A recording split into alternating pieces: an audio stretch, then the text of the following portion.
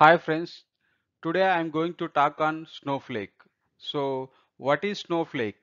Why organizations are migrating to Snowflake? And what are the advantages of Snowflake over traditional RDBMS systems? And what are the new features available in Snowflake? So, let's start with uh, what is Snowflake? Snowflake is a cloud-based warehouse unlike other on-premise data warehouses. It was founded in 2012 Snowflake offers data storage and analytical services at low cost. Currently, Snowflake runs on Amazon AWS, Microsoft Azure, and GCP Cloud Platform. As Snowflake does not have, have their own infrastructure, Snowflake can be hosted on any of these three cloud providers. And coming to why Snowflake? Why Snowflake?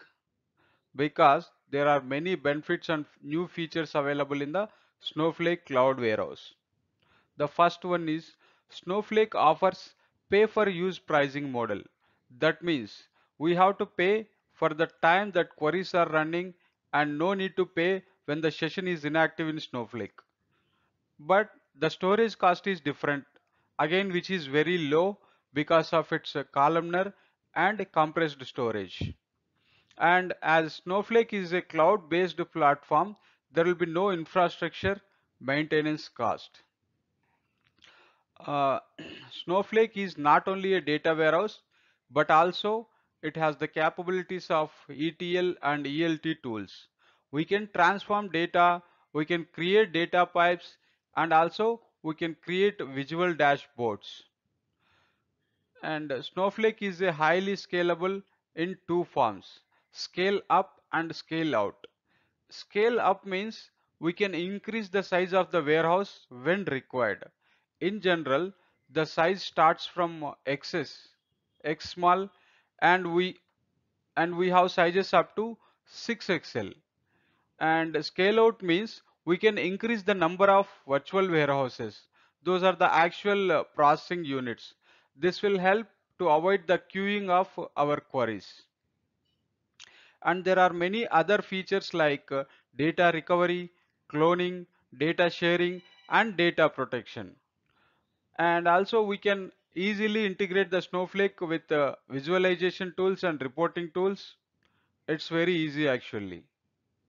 And now let's see the differences between traditional warehouse system and Snowflake cloud warehouse. So to maintain traditional warehouse, lot of infrastructure cost is required. But as Snowflake is cloud based, there is no infrastructure cost at all. In general, traditional warehouse stores only structured data and it cannot process semi-structured data. We need ETL tools if we want to process semi-structured data. But in Snowflake, without using any additional tools, we can easily process the semi-structured data. This is one big advantage in, in Snowflake. And if we want to load the data into traditional RDBMS systems, again you have to make use of ETL tools. But in Snowflake, we can do that easily by using a simple copy command. And as I mentioned earlier, it is very easy to scale up or scale out in Snowflake when compared to the traditional warehouses. So the scalability is very high in Snowflake. And coming to database administration, it is highly required in traditional RDBMS systems. Like we have to create indexes, we have to create primary foreign keys, and we have to create partitions. But Snowflake has inbuilt mechanism for performance optimization with its micro partitions and cluster keys. Let's see the other features available in Snowflake. Uh, in traditional RDBMS systems, if you want to take backup of the data, so you need additional storage cost. But in Snowflake, we have a feature called cloning, where we can maintain multiple copies of data with no additional storage cost. And when it comes to the data recovery, so in uh, traditional uh, data warehouses, if you delete any data or if you drop any tables or databases by mistake, it's very difficult to bring back the data.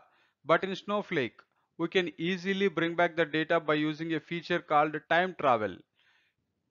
And we can bring back the data up to 90 days. But there is a little cost associated with the time travel feature. And there is one more mechanism called failsafe mechanism. This is also used to bring back the deleted data. And the data sharing in traditional RDBMS systems is very difficult.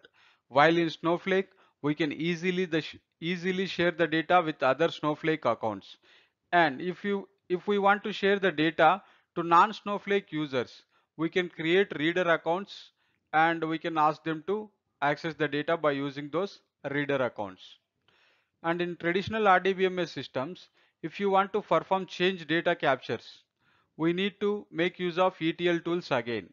But in Snowflake, we can do this easily by using a feature called streams.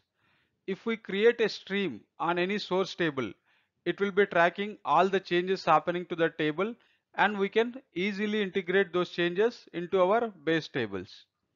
And when it comes to scheduling, scheduling of our queries or procedures, we need separate scheduling tools like Autosys, TWS, and Snow and Airflow.